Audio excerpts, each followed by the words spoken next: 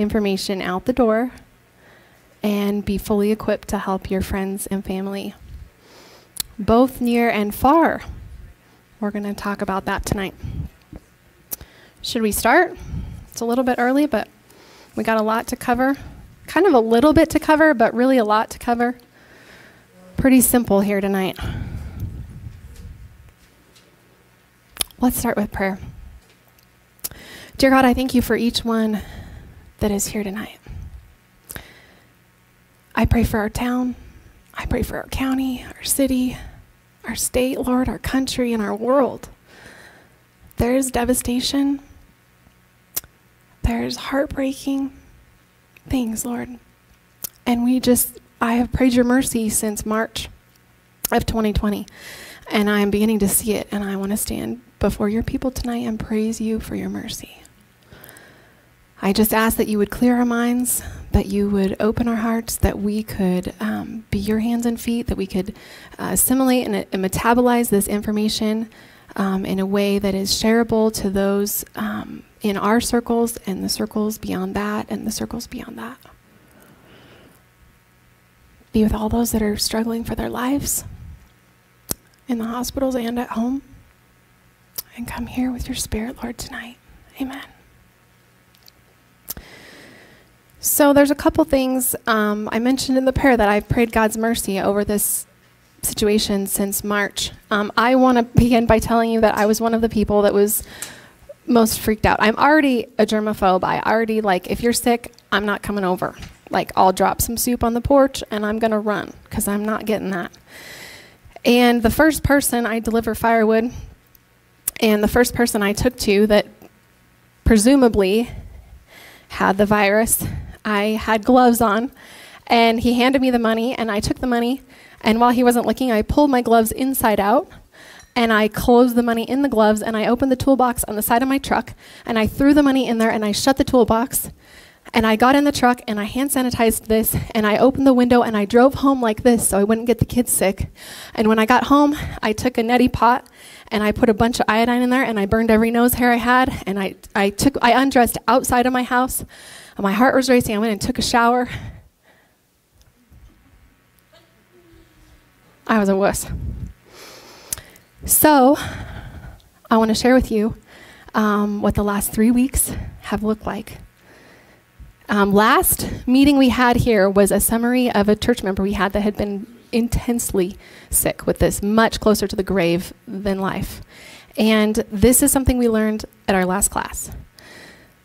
We've also learned a lot since then. And it's all goes along with that, but it parts of it have become much clearer. It's just like the Bible as as things unfold, parts of it stand out that that was here the whole time, but now we understand more about it.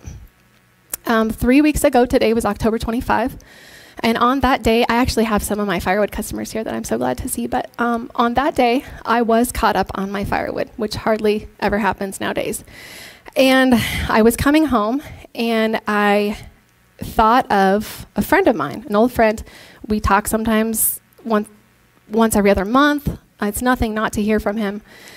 And he came to my mind, and I texted him. I didn't hear anything back, and I called him. No answer. So I went to his house and uh, when I got there, um, he was on his couch.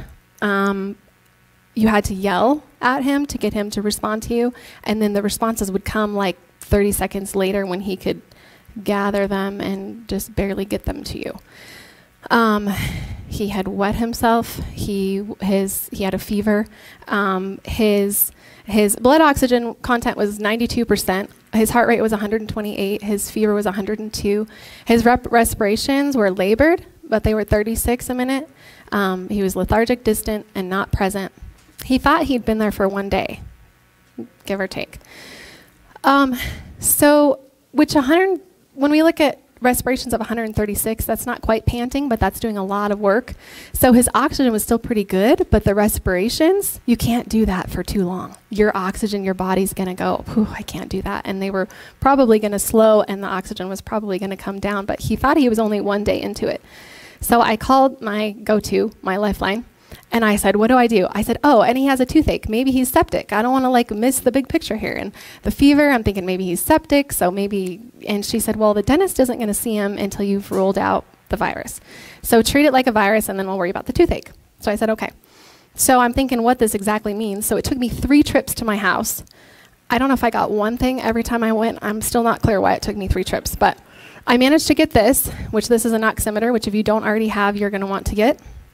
This goes on your finger. And when I talk about this, I get really wound up. So my heart rate is not a good example of what your heart rate should be. But I'm sometimes in the 50s. But when I talk about this, it's like 128 was the other night. So um, his, let's just go. So I got this on one trip, and I text Chandra the stats. And then I got um, this thing here that we're going to spend most of our time on tonight. Um, I got that. And then I went home and this is a thing we're going to discuss tonight that you can mix up. But he was barely well enough to turn on this button. Just barely well enough to turn on that button, and I thought there's no way. He was shaky. I thought there's no way he's going to open this and draw up these three things and do it in a sterile manner. So I had a little conflab with my sister in law, and I said, I'm going to take this. So there's some paperwork on the table over there as to why I grabbed this. This is something I've used for 12 years. It's something that I've used on almost everything, pretty much. And so it is uh, called Vetricin. It is an animal product. You can get it in a human form. It is non-toxic. I am not here to push this. I'm just explaining to you why I grabbed this. Um, it is non-toxic. It does not leave a residue. It increases the oxygen on the surface area by 30% for 36 hours. It kills 99.9% of all single-celled pathogens within 30 seconds of contact. And I knew he couldn't mix that up. And the thing is, we have to mix this, this, we have to go ahead and add this into here. And I thought, oh, I think he's well enough to do that. It's a couple of squirts. So I just went on a limb. I'd done it myself, and that was it. And I went on a limb and left him there with that that night. So the next morning, so he, he nebulized at 6.30, 8.30, and 10 p.m. And four hours later, after his first nebulizing treatment, he walked into bed. Went to bed at 11 p.m. 12 hours later, huh? Yeah, oh yeah. He, I mean, to, to readjust on the couch was like pretty much non even. And so, um, so 12 hours later, in the morning, I, I lay in bed, my eyes pop open, and the first thing I do is I reach for my phone, and I just, I'm dreading this because I'd asked him the night before. I said, Can we go to the hospital? No. Can we call your son? No. And so I'm dreading this phone call. I dial his number and call him. Hello. And I was, Good morning and he's totally coherent. He is, um, when I get there to check him a little while later, his, his uh, temperature has dropped to 90, a little bit low, 97.6. His oxygen is 96, and his heart rate is 96. And I prayed for him the night before, okay? I mean, every time this works, it feels like a miracle to me, and it's God's mercy. So I prayed over him before I left. Um, so I after this all happened, I thought, what just happened? That's just crazy. So, tonight, that's basically what we're going to cover. We're going to cover understanding the stages of the virus, how it works, and what goes on. Um, we're going to understand stopping the virus on day one and how important that is. And we're going to um, learn how to choose and operate a nebulizer. And then we are going to have some cautionary things after that that we have devastatingly learned the hard way. Um, Okay, so today, um, this event came about pretty quickly because of the uh, necessity that we feel for this information to get out and the fact that the holidays are coming up and we want you to be equipped for that and, and to be able to take things with you to the events and be free and be comfortable to gather and whatever you're going to do. Um, so this is cool. So this all happened basically Friday. Um, and then we discussed we discussed it a little bit on Friday, and then it came together. And then out of the blue, my dad texts me and he says, "We're coming down Monday night." And I said, Oh my word, that's so perfect. So I want you guys to hear um, from my dad. Sometimes things come close to home. And I want you to hear a personal story. He's gonna, we're gonna tell a little bit about this stuff, and then we're gonna get into how to use it. This is my dad, and because of the story, they get to know how old you are. I'm just finishing up my 84th trip around the sun. One of the uh, things you get living on the earth, you get a free trip around the sun every year. So, yeah. So next month I will have completed the 84th. I'll start my 85th trip. But uh, my wife and I, a year ago, October, got COVID. I didn't know I had it. I was I thought it was an allergy. My nose was running and stuff. And, but I have this, uh, you know, I have some allergies in the morning. I'm blowing my nose every morning anyway. But my wife had uh, uh, more serious. Um, she was weak for a few days. She had a fever. I had no fever. She was using I, up her essential oils because they had no smell anymore. They're probably bad, just using them up. I'm like, Mom? I didn't know I had COVID. I went down and got a haircut. They took my temperature, no problem. I went over and got a blood draw. They took my temperature, no problem. I went in two days later to get my physical. They took my temperature. I was fine, no, no fever at all. And so um, I got on an airplane. After I took my physical, I got on an airplane, went back and did a seminar in Tennessee and astronomy and flew back home. And we got home and Amy says, you guys better get tested. You've been exposed. So we finally got around to testing. Sure enough, I had antibodies, and my wife had antibodies. And uh, but, I, but the theory, my thinking is because I got it again. My theory is I had it so weak I didn't have really good antibody, and I got a super dose exposure. On Thursday, a couple weeks ago, two weeks ago, I got on an airplane with a guy. We flew to Phoenix. We were together in meetings all day. Friday, Thursday and Friday, flew back on the plane. He was hacking, hacking, hacking. He said, Oh, yesterday we were cleaning the backyard and I got all this dust in my lungs. And uh, he didn't think it was COVID, and I didn't even think about being COVID, and I thought I wouldn't get it anyway. Well, so I got a really good exposure, and I got it on Sunday. We came back on the plane Friday, and Sunday afternoon, all of a sudden, I was feeling miserable. You know, hacking, coughing, blowing your nose. I went through tissues like you can't believe. Um, Monday, Tuesday, Wednesday. I was. I said, if I don't, if I another day of this, man, I'm going to get the infusion at the hospital. The monoclonal well, antibodies. then Amy overnighted us a nebulizer and showed us how to use it. Two o'clock, I took the first treatment, and four hours later, at six o'clock, I took the second one. Then ten o'clock, when I went to bed, I took a, the nebulizer, and by midnight, I knew I was over it. I mean, I I could tell immediately that. I mean, you're just like constantly blowing your nose and hacking. And uh, next morning, I was ready to go to work, and uh, I did. She insisted I take take it easy, which I did for a couple of days. I said, "I'll and, wring your uh, neck, get in bed." The point is, my wife never got. The, I mean, here we are in the same house, no mask, and and and she, I think, got a really good uh, antibodies because she had it worse than I did. She had. We didn't know she, she had an infection in her leg, and and we thought maybe that's why her temperature was up. You know. And so my theory is I had a really weak antibodies because I had a weak case, but she had a stronger case, probably had a lot stronger antibodies. And here we are in the same house, no mask, and, and eating together and everything. And she didn't get it, but I had it, you know. Okay, any questions? so, um, I, you know, I could be dead. Yeah. I could be dead. We have some really good friends right now in Lincoln, Nebraska that yeah, and, and he's half my age.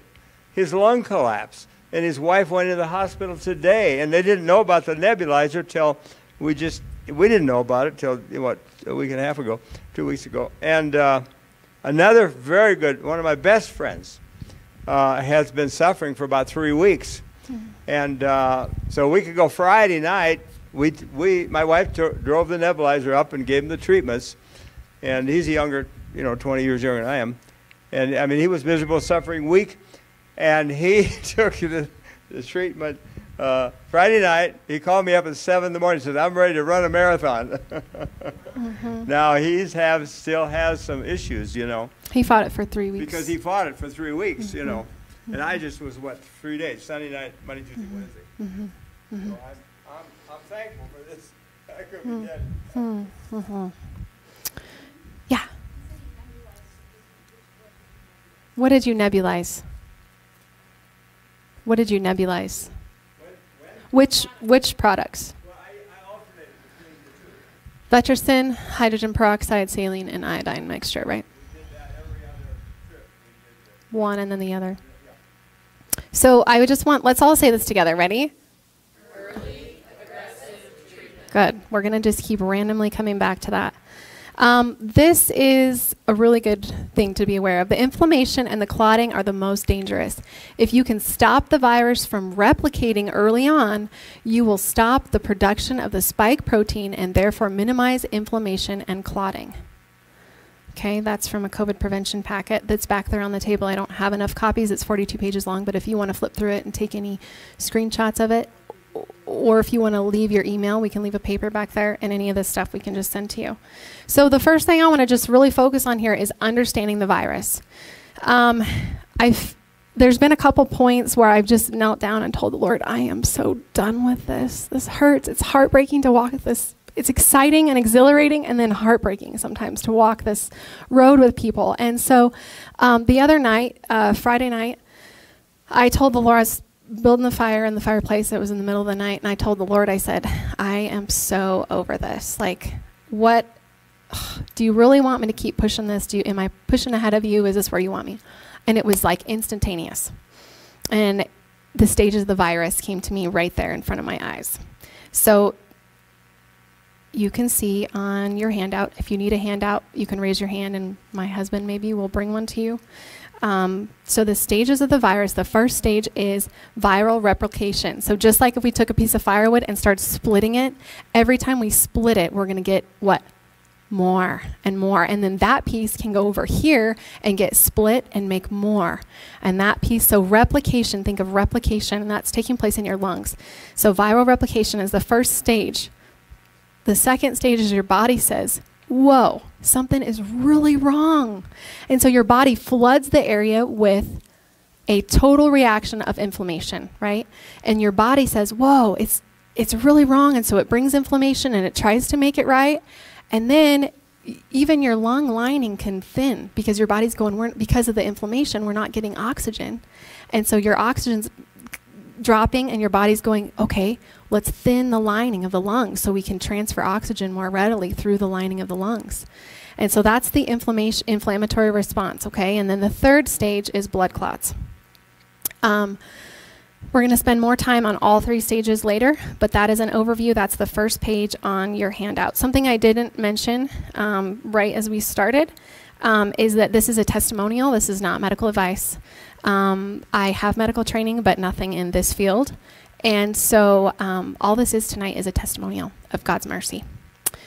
Um, so in Japan, uh, this a big study came out saying that one in four of hospitalized patients with COVID uh, has blood clots as an after effect. Um, in Great Britain, there's one that says 20% um, of severe cases have uh, blood clots. And uh, a member of our own church, her nephew, um, was 39 last week. Four days after COVID, walked out to the garage feeling pretty good and just over in the garage. So I say that because don't because of a blood clot to your lungs, yeah. So I say that don't think, "Oh, I I don't know whatever you think would exempt you from blood clots, but it's something they're not talking about and the, we're losing people on the tail end. They're over COVID and it's blood clots and the wording is COVID complications, complications of COVID. And no, nothing of that would tell you to take an aspirin. You just think, oh, I died of COVID, right? So we need to, oh, I wasn't going to use that word, whoops. Um, okay, so we need to be aware of all three stages. So let's just look at your handout and say them. First stage is replication. The second stage is the inflammatory response. Good. And the third stage is the blood clots. Okay, I'm going to let Chandra come up. She's going to talk with us a little bit about. She's um, every waking moment that I have, I research on COVID and what I can understand about the body function and this particular thing we're going to talk here tonight. But Chandra had time to really pour some time into the nebulizing part of it, and so or choosing the nebulizer, and so she's going to just share that with you. Okay. Sometimes wanting to know the details. This is my sister-in-law, Chandra. and this is my sister-in-law. This is my life. Which is sort of a cool testimonial too, because every time we do something together, we are a disaster. From high school on, it's a disaster. We are a disaster. trying to sneak up and. oh, we dump over paint cans. Oh yeah, yeah we're a disaster. So look out if we come to your house. so this is God's mercy. This is God's mercy. For, yeah. For God's um, work we too. Work together well. We work together well. It's it's God. so the details sometimes matter, sometimes don't. Big picture just get a nebulizer and use it. Okay? But in doing the research and liking to know and have something that's a good quality product, um, I like to do a little more research and ask. So, came up on um, one, a respiratory therapist at work and asked her something that today made a lot more sense. So let's go. There are three different types of nebulizers ultrasonic or cool mist, jet, and mesh. I had never heard of mesh until just today. Um, and I crossed out ultrasonic because they're just they don't make um, like if you have a diffuser for essential oils at home it most likely uses ultrasonic technology and just shakes it and it gets into a, a particle um, into the air so it's better than nothing it is gets something down in your lungs but the other two get further and because it makes the particle size smaller so going back into this picture here your upper respiratory tract your throat mouth 10 to 15 micron size, so that mesh, uh, the, the ultrasonic would only go that far because it's just going to be too small. It'll catch on the walls of your body habitus. Down into your trachea, 5 to 10 micron is the particle size. But down into your bronchus and lungs, which is this virus goes where? Down to your lungs, 2 to 5 micron.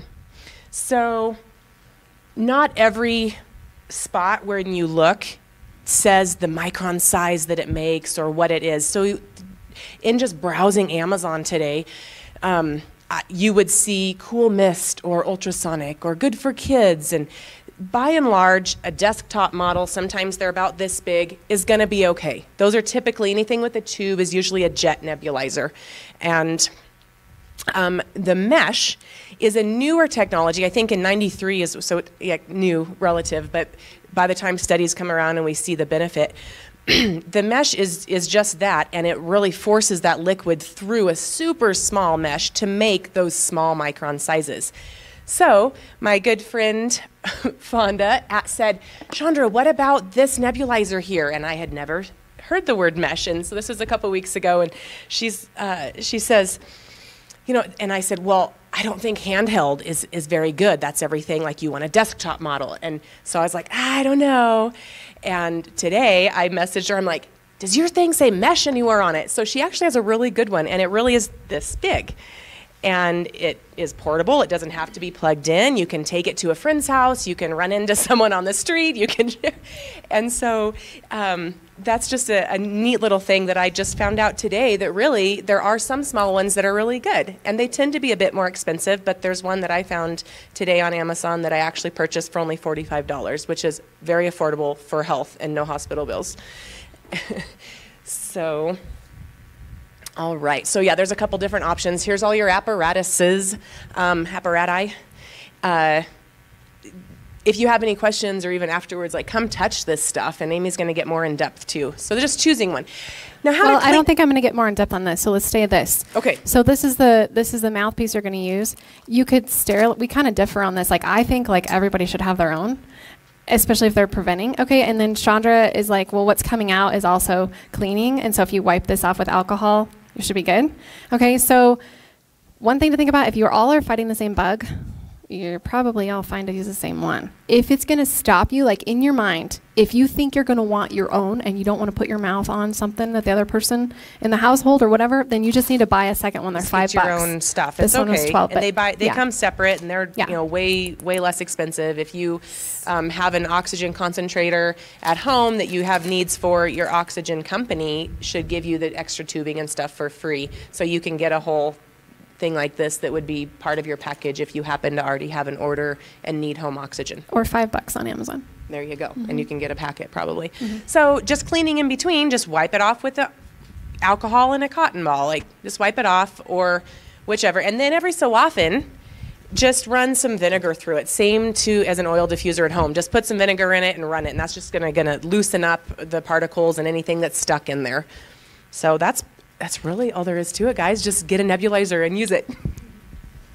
And she talked about last meeting um, the uh, stats and things that were going on um, with our church. We're really our first intensive. Like she was living there, taking care of this person for a week and a half, and it was touch and go, and and it was came down to the last like two hours around the nebulizing treatment that we saw that they saw the huge changes in vitals. Oxygen started to come up. First time a temperature came down in two weeks. So um, a lot of that was shared last time, but that was really the first um, thing. So the next step would be choosing what to put in your nebulizer. Um, so the more her, both of us were kind of freaked out at first because we wanted to get it just right.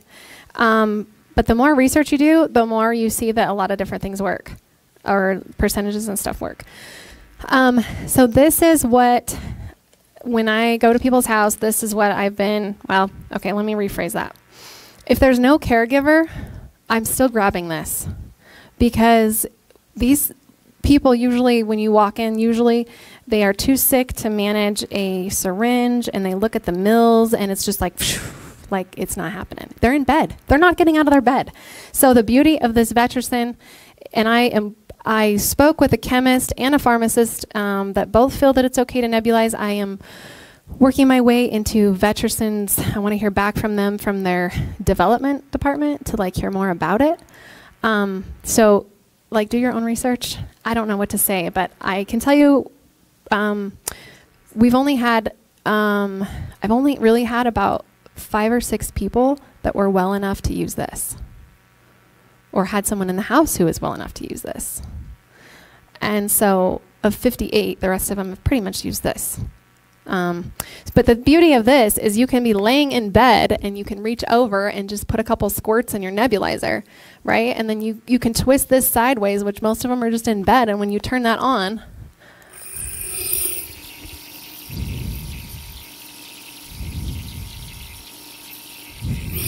It might make them cough a little bit, first couple breaths.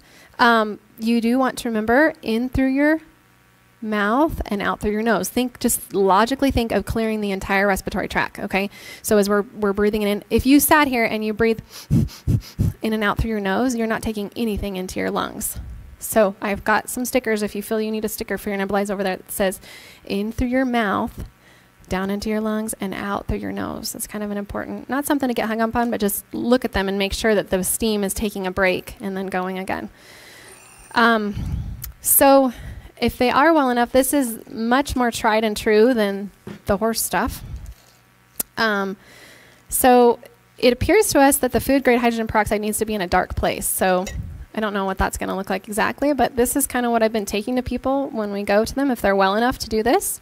Um, so what we would need to do is, let's start fresh here. What you need to do is 1.5 mils of, and this is all on your one handout. Your, your single page is the page you're going to work off of when you're helping a sick person. Okay, that has all your amounts on it. Your packet is for your knowledge. Like you read the packet and you assimilate the knowledge and then you throw that in a drawer somewhere. But that one single page, the reason we didn't staple it is you might slip it into a, a page protector and you might sit it up on your stove or whatever because it's telling you how often to give everything from vitamin C to when and how much of everything else we were trying to draw this up sterilely and we just it's too cumbersome because you've got this to hang on to. You're trying to put this in a sterile like the, how we were showing people is put this in there and then get your syringe and draw out of there and then put that in there. These people are sick okay? They're not doing that. So this is the next best thing we've gotten to is this guy. So this is the 1.5 mil food grade hydrogen peroxide. Your side of your nebulizer has little lines on it. Most of them, this one goes up to 6 cc's. So you can take a guess here on what 1.5 would be. And then this would be your sterile saline. And you would add that guy, another 1.5 mils to up to 3. And then this is your iodine. And we could buy one bottle of iodine and it'd be enough for this whole room because there's 20 20 drops in one one mil, 20 droplets, and we're only going to add one droplet here. And I told, I think you told me that would happen. okay, I have another syringe that might work better, so I don't want to nebulize this one, but somebody might want to. Um, out of the dropper bottle is better. Mine are all loaned out right now, so this was my best attempt at showing you iodine, so sorry about that. So out of the dropper, the iodine usually comes in a like with a, um, a dropper in the top, and so it's really easy to get one drop. And that would have been our nebulized solution.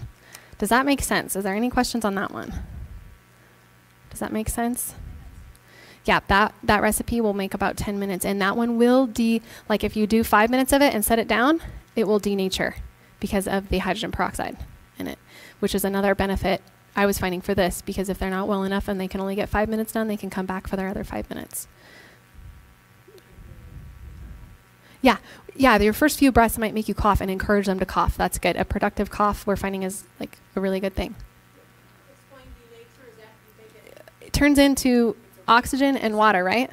Hydrogen peroxide. So that's the beauty of using uh, the hydrogen peroxide is it's killing the virus, it's shredding the virus, ripping it apart, and leaving behind oxygen, which is a good thing for your lungs, and water, moisture, which is a great thing for your lungs too. So um, it, I mean, there is nothing I want to take away from this solution other than I think if you're too sick to do it, I think it, it's probably better to do horse medicine than nothing. Yeah, yeah. So, right, right, right. You could still use it. It may just not have the full thing.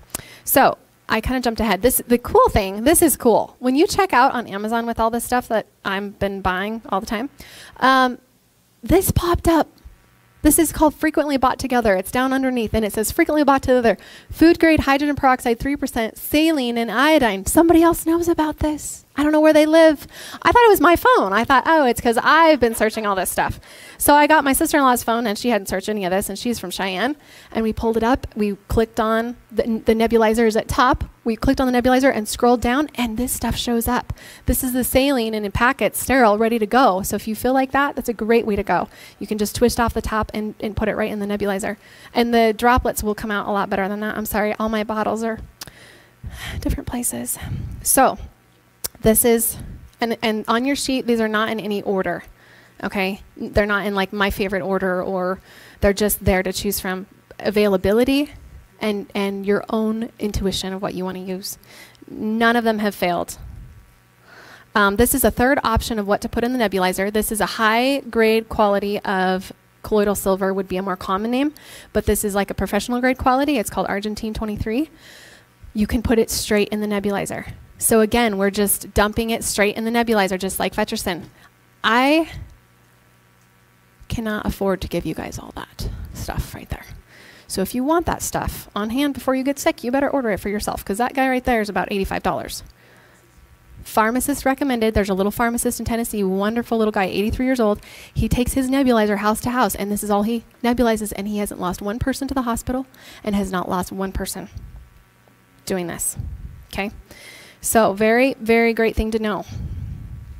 Okay, one comment on the Vetericyn. We talked about it a little bit.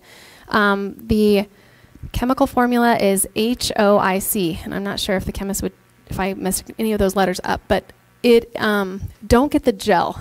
Okay, the gel is formulated to go like onto a wound and be packed over. Um, I just don't. I've never tried it. I don't have any idea what's in the gel, but let's yeah the nebulizer likes the light liquids and let's not put gel in our lungs. So just keep an eye out for this hydrogel. Great product. Let's not put it in the nebulizer.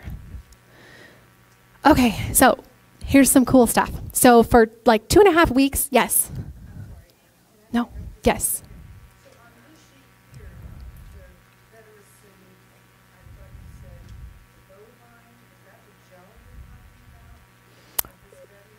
We just want to avoid the we want to avoid the gel. Mm-hmm.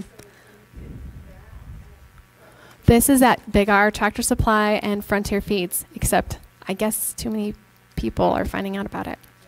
So I have it on my list of people to contact. I'm going to call Frontier Feeds because I like to support little businesses, and I'm going to tell them to order a case if they want. There's some at the pet store. Okay. So on Main Street. So I'm going to call Frontier Feeds and just tell them, like, hey, this is what's going on. And if you want to support local business, we're going to do the pet store and Frontier Feeds. But lately I've been hearing a lot of people are like, eh, it's out. And Big R is getting a shipment any day. Shauna called them any day. Um, did that answer your question? Okay. Okay. And you'll find all the animals on the front of it. And you can buy it in human form. I've never used the human form. I don't really know. Puracyn is a human form. Two people I know have tried it. I don't know where to buy it online. I mean, by the time. Yeah. My husband, being the forethought man that he is, ordered six last week, and we're vastly going through them quickly. So, yeah, yeah, they come in a few days. Yep, Amazon. Yep, to about twenty-eight dollars is what you can expect to pay for those. Um, so here's the cool thing. So for about two and a half weeks, this is happening every single day. As someone knew my phone rings, she was with me one day. I said, all we do is we just answer the phone and we just, and then God sent something to my heart. Like, this is so weird, but I told you we run firewood. My firewood truck has never broke down on me in 12 years and probably eight years before that, I don't know. And it's, it's, the engine is out of it right now. So I couldn't move firewood if I wanted to. So God has freed this time in my space of my mind that I don't feel badly.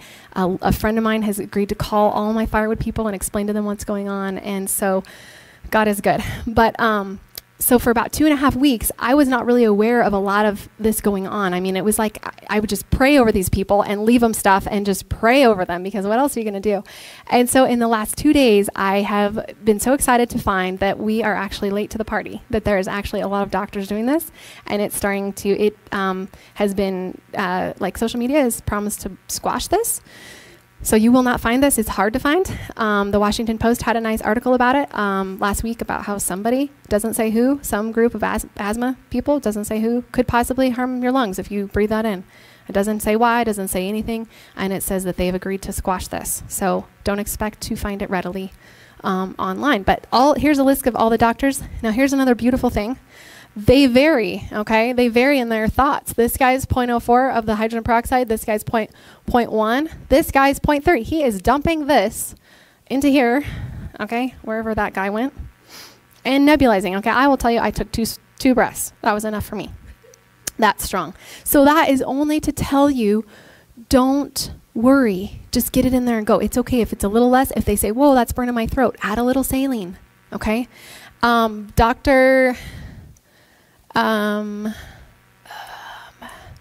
Dr. Uh, Levy here has wrote the book Rapid Virus Recovery on Amazon. I didn't know about this book. We're doing this and on a faith and a prayer, and we're doing. And he has this book on Amazon, and he says he makes the assertion that there should never be another case of COVID 19 materialize ever. He said if you catch it day one to three, there is no reason for there ever to be another severe case of this virus. And he's giving that book away. You can text me for the link, or you can go on Amazon and order it, Kindle, whatever. But he is using all the way up to 3% hydrogen peroxide plain. Okay, that's the food grade, and he's using that plain. So that's just to ease your mind that you're not going to get the right drip amount in there. If it's too strong, thin it out. Okay, that's the saline, thinning it out. Um, I should maybe read this for the people listening. I don't know. Dr. David Brownstein, Frank, Frank um, oh man, how do you say that? Challenger, I can't remember. Uh, Robert Rowen, Thomas Levy, Dr. McCullough, and Dr. Youngren. And they all vary a little bit, but they are all, none of these have failed. Okay? For, for peroxide, yeah, for the virus. So the question is should you wait for a positive test to nebulize? I feel like there's someone in, that in this room that could probably get up here and tell you no. You do it even if you get a negative test, okay? This is so important, okay? Um, I should back up and tell you that Dr. Um, uh, Dr. Levy is doing this for irritable bowel syndrome. He's been doing this for like 20 or 30 years. Um, and he is doing it for periodontitis. And there's a whole, I could talk your, I, I, like amazing to relieve the gums of the, the um, inflammation and the bacteria around the lungs that drain into your heart. And it's actually reducing your, your chances of breast and heart disease crazy. So, in other words, these things have been used for years. This wasn't like a, oh, let's just do this for COVID thing. These things have been used for years with no negative effects. And they, you don't have to ask what medication they're on. And I'm going to go on a limb. You don't have to ask if they're vaccinated, okay? This works the same no matter what. It doesn't matter if you have been, haven't been, are on heart medication, aren't on this, have been that, have had a surgery. This does not decrease. Uh, none of these decrease or increase any other anything else that's taking place, whether it's natural or pharmaceutical that's in place. So you don't have to worry about interactions with other drugs. You don't have to ask them what anything they're on. Um, wait for a positive. Okay, and you heard my dad describe, and a lot of people say the same thing. Thought it was allergies, a head cold, drainage. Uh, the neighbor was burning weeds. Um, nebulize. Okay, sit down. I nebulize at home when I get home from all these houses. If I take my kids in, they nebulize when we get home. Okay? Um, an ounce of prevention is worth, what do you think, like a thousand pounds of cure? Especially when there isn't a cure? Okay, so what is this worth? Buy an oximeter, buy a nebulizer. Something else, when you call and check on your friends, this is the thing I've been hearing over and over. Oh, we're keeping an eye on them from afar. They're doing fine. Okay, can I go like, can I pop in? Can I? And I bring them lemon water and honey and broth, so it's more of a homey visit. But I can't wait to get this on their finger because I want to see what's really going on. And this is my best friend's mom, and um, she her son-in-law happened to be at my house. I was at my kitchen, sat at my table, and said, "Yeah, her mom's sick. Da da da. But I think she's coming along okay." Da, da, da. I said, "Well, do you mind if I go pop in and check on her?" And he's like, "Oh yeah, she'd probably appreciate that." So I went up there, and she's like, "Yeah, I'm just. I mean, um, she's like, I think I'm getting there. My hands and feet are kind of tingly, and I'm my head just hurts so bad when I stand up. I, my head is just pounding when I stand up."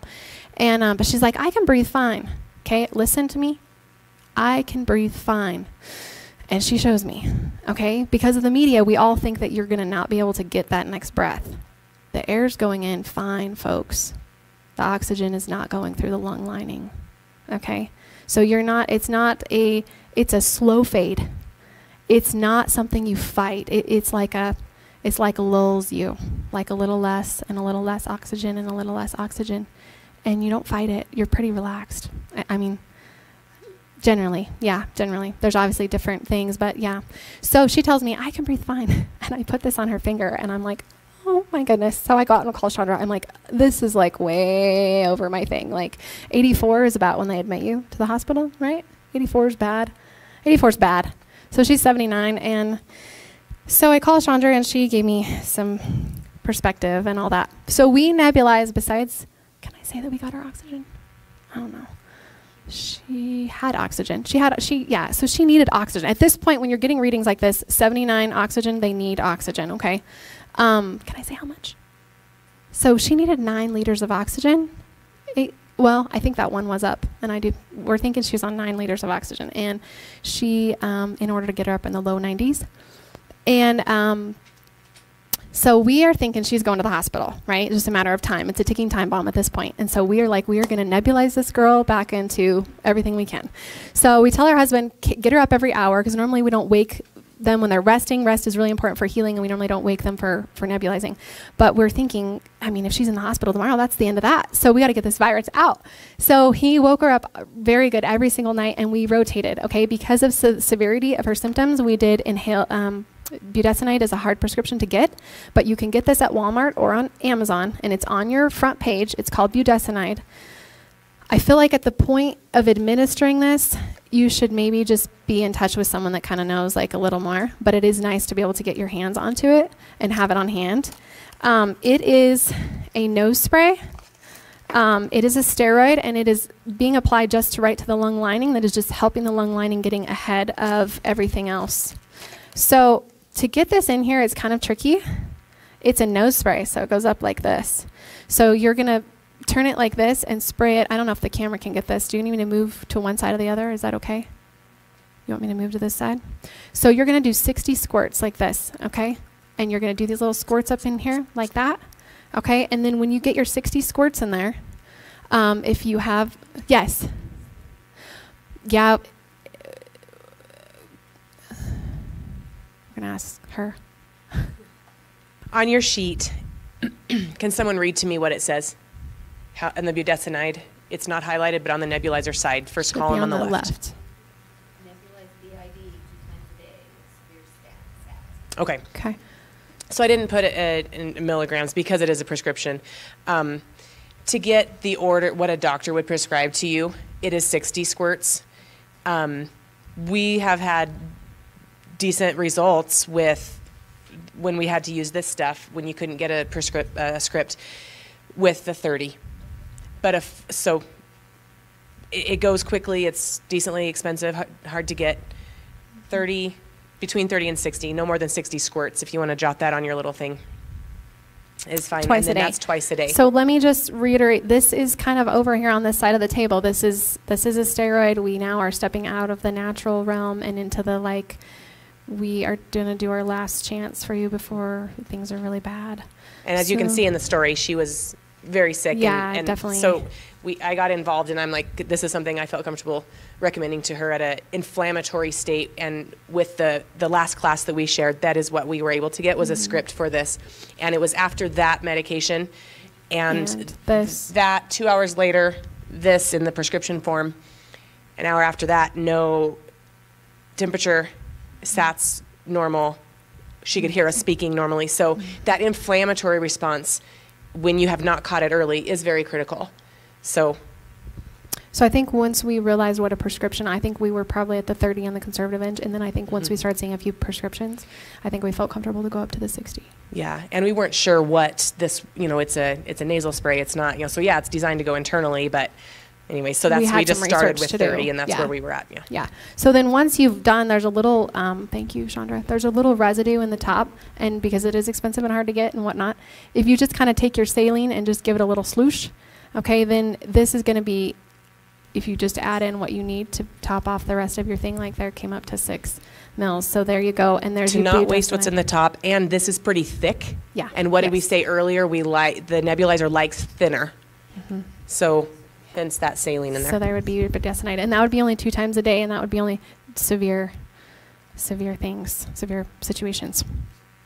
Um, okay, so inflammatory response. Okay, um, like I told you at the beginning, there's two things that um, I've prayed, and that was um, one was the mercy of God, and the other one to hear the voice of God. And I want to just share with you a couple things because as you go forward as little missionaries, hands and feet, it says that our light will shine brighter and brighter until that perfect day. Okay.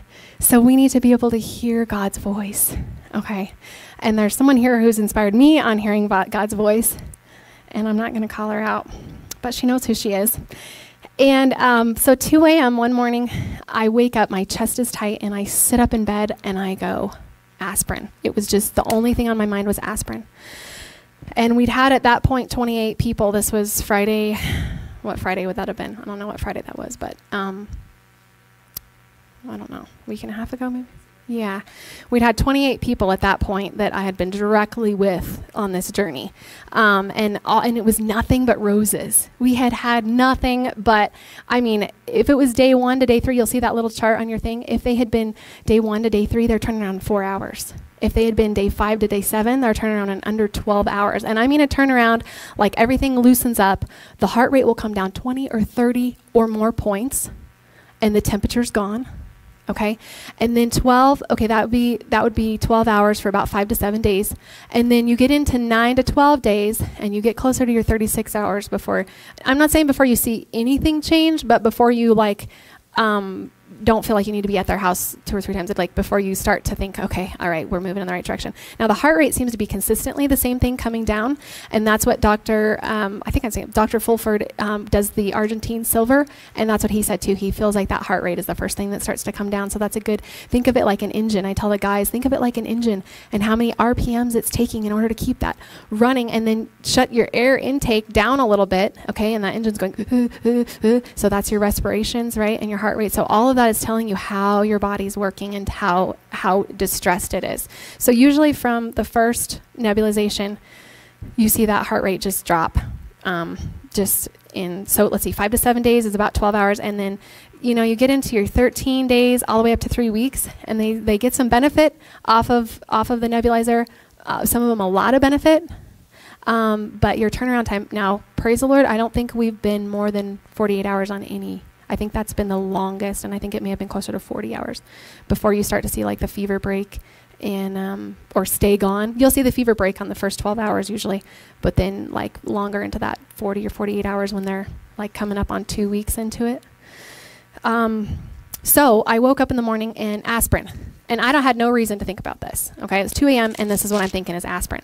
So I wake up that morning and I sit down with my phone and I text 28 people. I text them the uh, the information of where this came from, why they need to be on it, how much they need to be on it, and how many minutes. I said, go. It's it's one hour 20. I texted some of you in this room. How how many of you got a text from me about aspirin?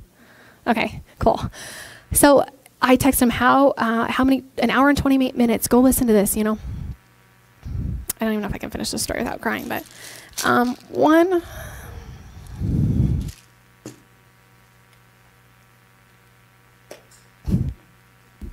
We can ball together. One gentleman and his wife were very sick, and we went over.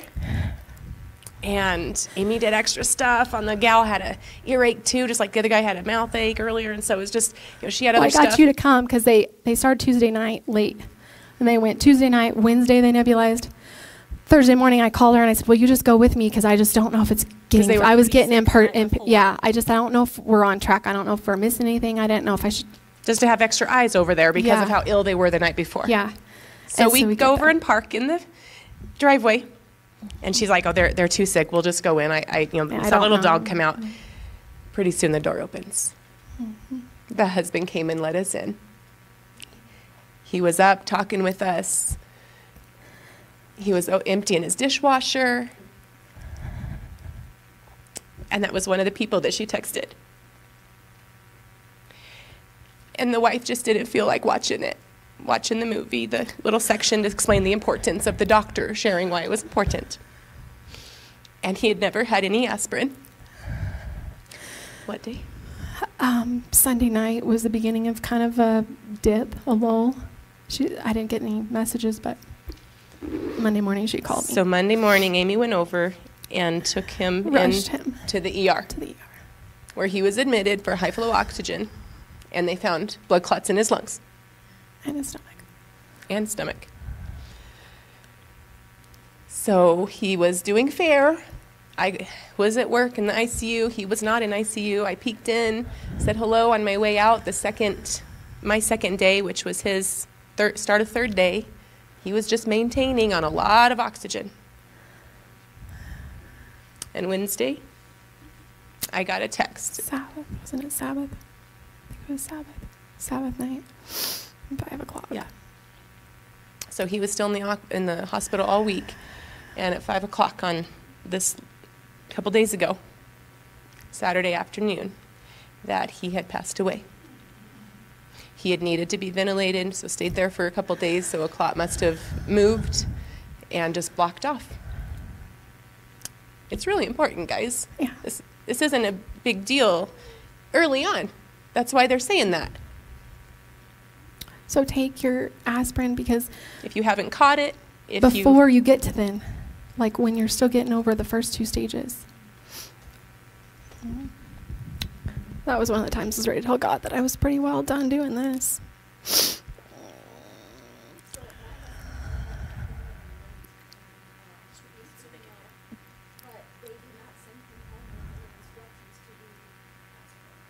So the.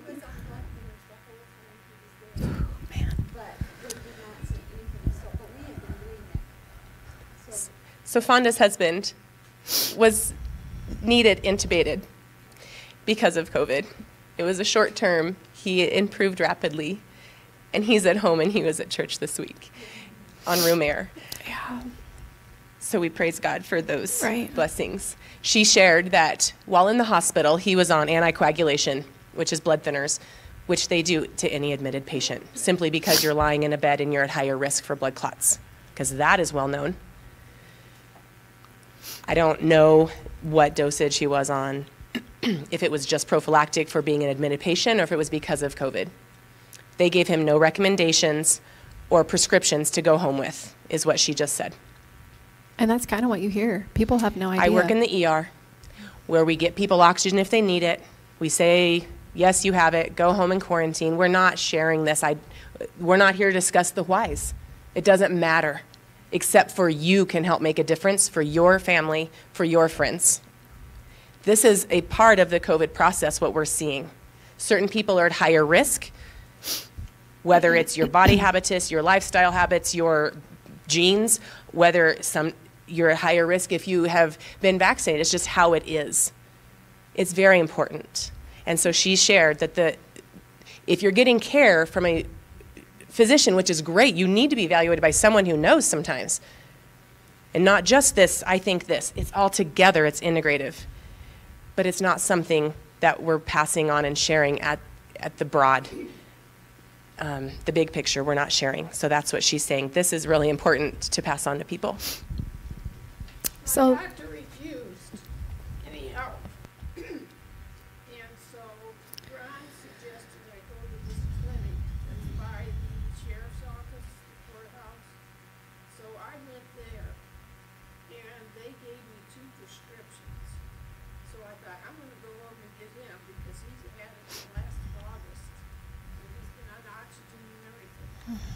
So I brought him in and she gave him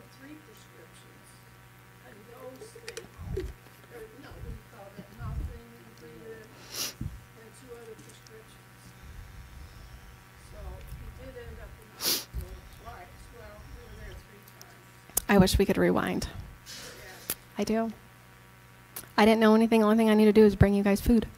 Learned a lot in a month. brought us food. Here she comes with this huge tray of Mm. all this food for us.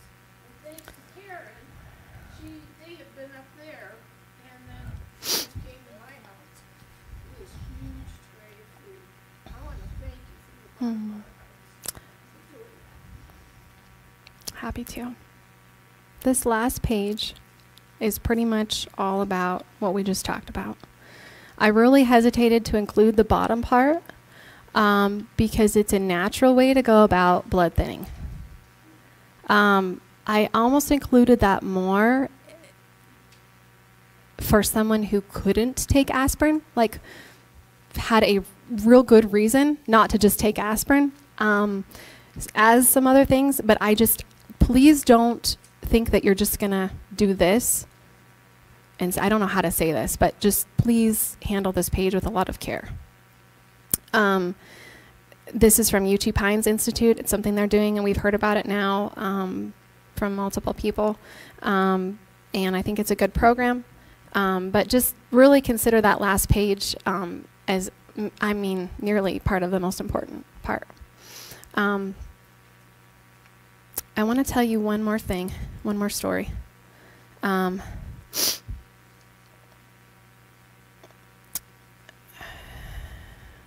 I had one more slide in here. I don't see. Here it is. Okay. As you serve the people around you, ask God. My son knows this little Bible verse, and he says, Lord, what would you have me to do? Pray that. Pray that you'll hear the voice behind you saying, Turn left when it's time to turn left and turn right when it's time to turn right. I know the Lord woke me that morning with that aspirin thing. I know that that was Him waking me up, but that I had no reason. It's been on our protocol, okay? But we'd been 28 people. I hadn't, I'd given them this, but I hadn't like highlighted it or anything. Ask the Lord for His voice and ask Him for His Spirit.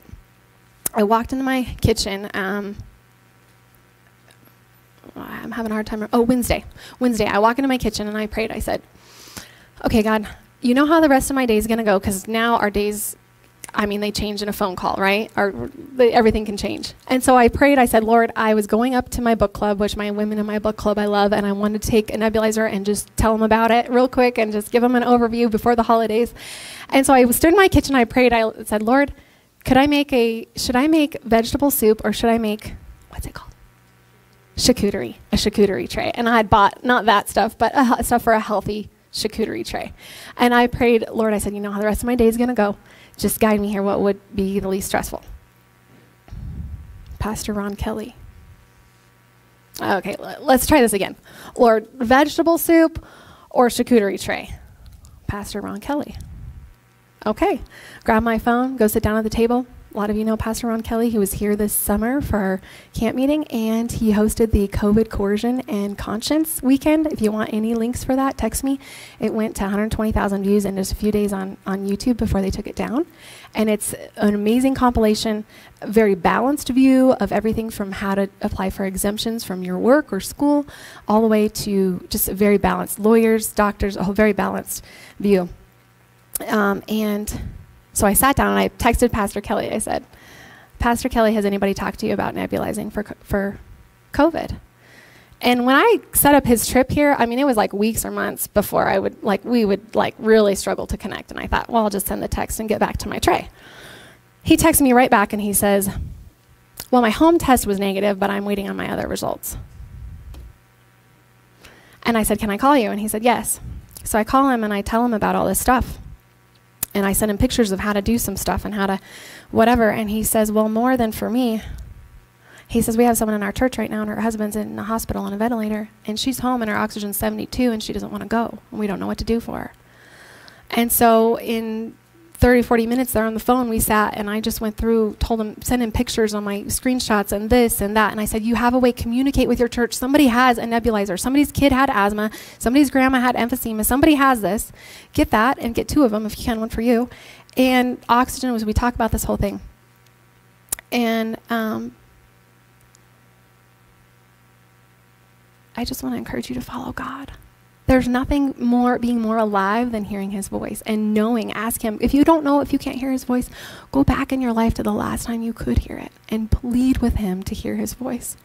Um, he's doing quite well. He's got a nebulizer. He's doing quite well. He's I, it's so fun. I wake up in the morning and on my phone is all these stats from all these people. Like it's just the fun part of waking up in the morning is all these improvement stats. And and so he's doing quite well. And his lady is still at home.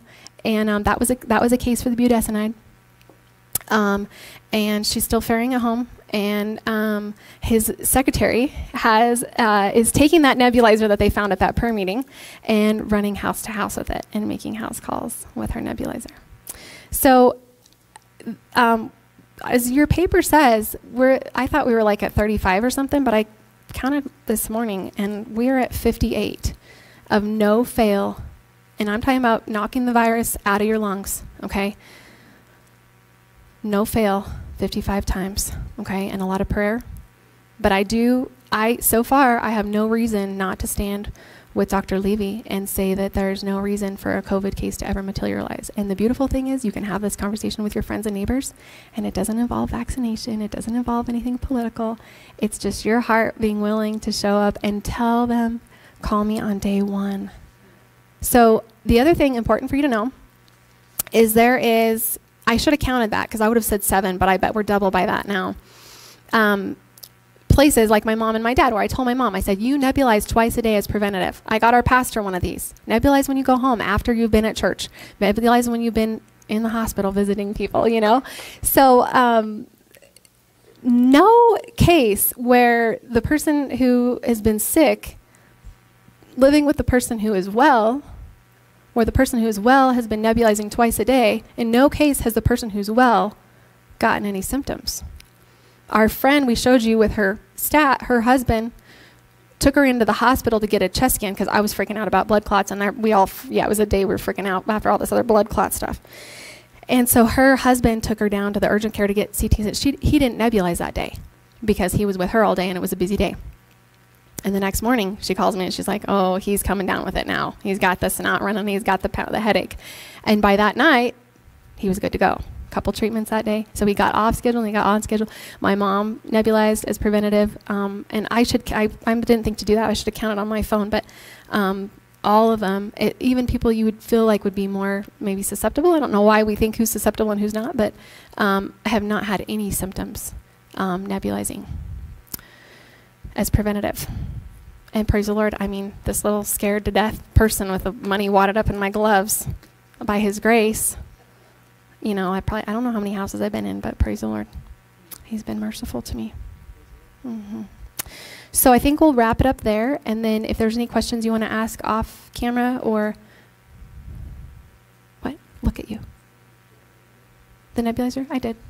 I pretend I was laying in bed. You want to see it again? If you're laying in bed, you can turn that mouthpiece, and I'm telling you that because most people need it that way. So if they're laying in bed,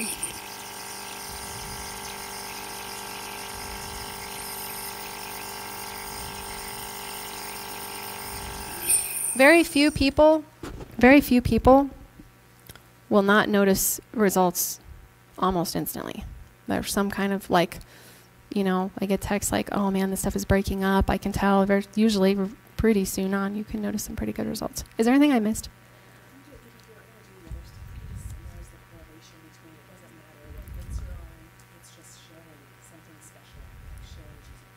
Yeah. Oh, yeah. I don't know. I was debating on these other slides, but um, Here's a, here's a quote from uh, Review and Herald. As the right arm is connected with the body, so the health reform and medical missionary work is connected to the third angel's message. And it is to work effectively as the right arm for the defense of the body of truth. I don't know. I'm not really like, I love prophecy and I've gotten more, more interested in it lately, but I mean, the third angel's message is after the first and the second angel's message. So I don't know how y'all feel about that, but I feel like the Lord's coming really soon. When properly conducted, the health work is an entering wedge, making a way for other truths to reach the heart. Then the right arm will serve and protect the body. Isn't that amazing? Here's the three angels' messages if we want to review them. Fear God and give glory to Him, for the hour of His judgment has come, and to worship Him who's made heaven and earth, the sea, and the springs of water. So that's about worship, the Creator. There's a lot of things that aren't aren't believing He's the Creator right now. There's a lot of thought of that. Another angel followed, saying, "Babylon." These are kind of summarized, but Babylon has fallen, has fallen, that great city, because she has made all nations drink of the wine of the wrath of her fornication. And I think fornication means mixing up stuff. Well, anyway. If anyone worships the beast and his image, this is the third one, and receives the mark on his forehead or on his hand, he himself shall drink of the wine of the wrath of God. So I just want to encourage you. Boy, that's not a very positive note to end on, but I want to encourage you to just pray. Ask God to. Um, Friday, I stopped at a neighbor's house, and I just felt like I should go there that day. And I told her about all this, and she said, "That's really strange you came today because I was exposed yesterday." And she was, you know, so so ask God where He wants you to go. Say, "Where would you have me to go, Lord?" Melody.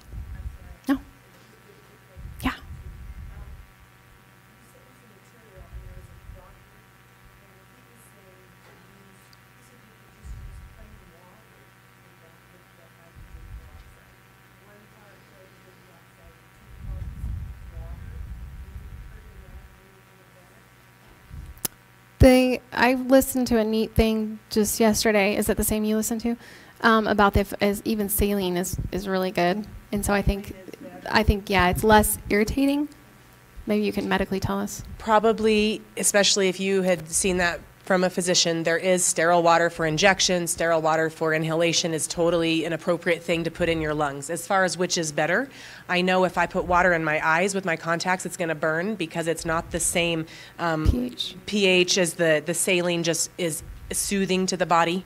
So safety wise, there should be no problem with that if you have no access to saline or even a contact solution, you know, throw that in there. Yeah, and we were reading that too about like if you're in Africa and you can only get prox, like do it. Just do it.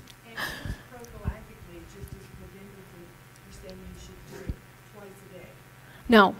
I, I'd say if you're living with someone who's sick or you know you've been around someone who's sick, you do it a couple times. Both of you are well. I mean, two or three times a week seems like what I'm hearing, mainly if you have a reason to do it, but the health benefits, man, that IBS, I mean, I don't know. Yeah, for the any research you do using an alternative browser to some common ones will easily and readily pull up research articles on Like- the peroxide like itself. so as far as yeah, DuckDuckGo is a good one. Um, there are lots of all the doctors she shared of health benefits outside of the issue that we're addressing specifically now. The other stuff, like just prophylactically, I I don't think as long as you haven't don't have any symptoms, no, yeah, just mm-hmm. your supplements, your D, zinc, C are your big 3 main mm-hmm. supplements, your garlic state, you know. And then if you you know you've been around someone, oh, they were having a little hack. I mean, there's other illnesses out there besides the virus that we're discussing specifically. So anytime you've been exposed to something, yeah, do a do mm-hmm. one, you know, a day and a half or something like that. But um, oth- unless you're wanting to treat some other health issues, that'd be to stick with the peroxide one too. But any of the other ones, if you have a reason to.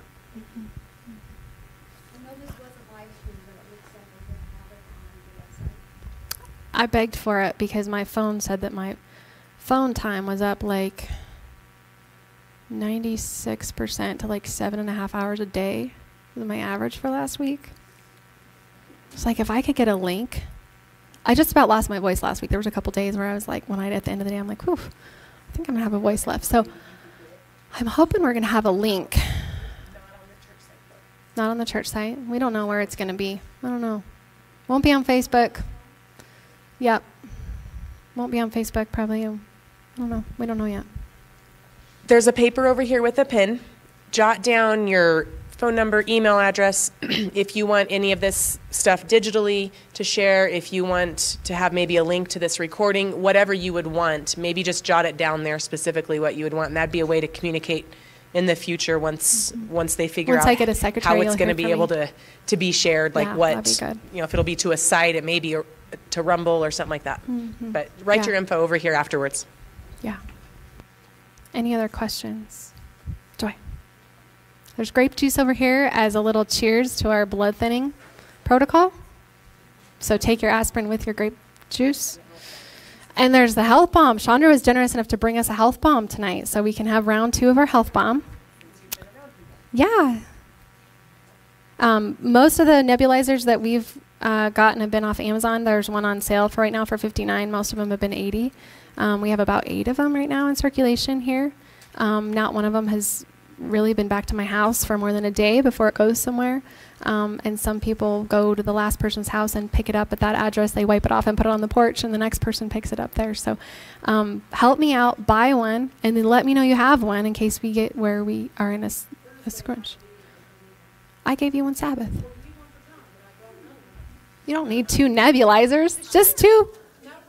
Okay, good. You got one to loan out. Good, good, good. Good. Great. I'll put that in my phone. Anybody else have any thoughts? Any? Is there a specific name for that one? Um, this is a Respironics. Pack these when you go on a trip. These doctors, I was listening to a thing, they're saying they never leave home without them. Pack them in your suitcase. Take them on a trip. You don't know who you're going to meet, where you're going to be. The Lord told me to take one when I went to my, I was in Denver the night my dad tested positive, and he told me to take one the day before. I knew it. I was leaving a guy's house. He was about done with it, and I thought I should ask him for that nebulizer. And I thought, there's nobody in Denver that's going to need that. Like, I'm going to my parents' house. They've already had it. Uh, nobody's going to need that. And I totally, I could have, I was 25 minutes away from my dad when he tested positive. I could have ran him that. So listen to the Lord's voice, follow his voice. This is a Respironics mini. Yeah. Can nebulize if you want. The squirt of iodine I put in there. Any other questions? Yeah.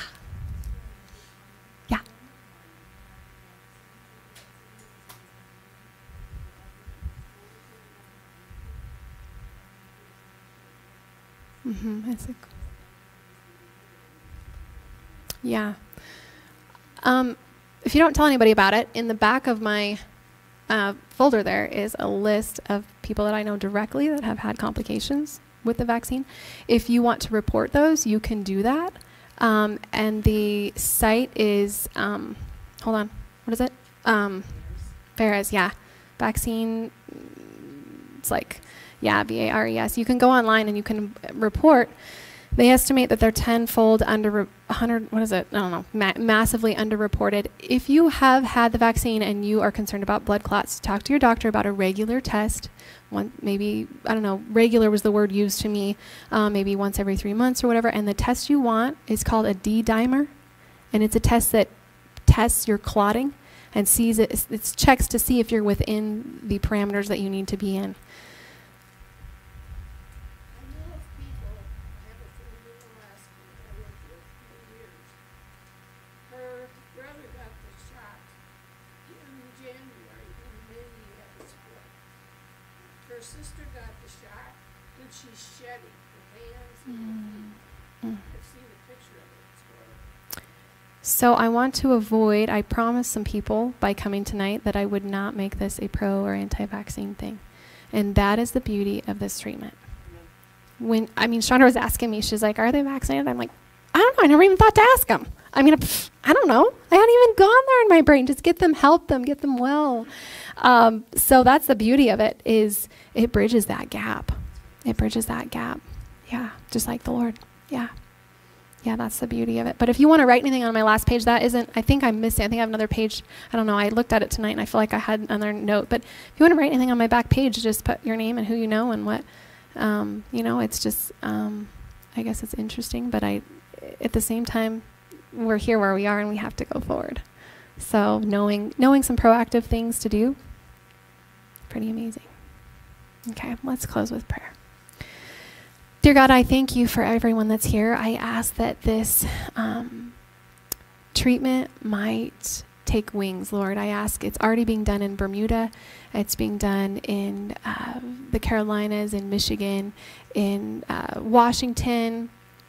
Um, and I, there's several other places, Lord. It's already spreading, and I just ask that this might be a tool that could dissipate the fear, Lord, that it surrounds the situation that we're in. That we could be, um, have love and power and a sound mind, um, and that we would not be fearful, Lord. That we could walk with you and hold your hand and be brave as we go forward to help those um, that you bring to us. And I just ask that you would send your Holy Spirit to each one in this room, Lord. That you would dissipate the fear, and that we could take hold of your hand, and we could follow you into your kingdom, Lord. We look forward to your soon coming. I believe it's imminently soon. It's exciting to be alive at this time of, of the world's history. And I just ask that we could, that our lights would shine brighter and brighter until that perfect day. Amen. Come up and touch stuff. Try it on your friends.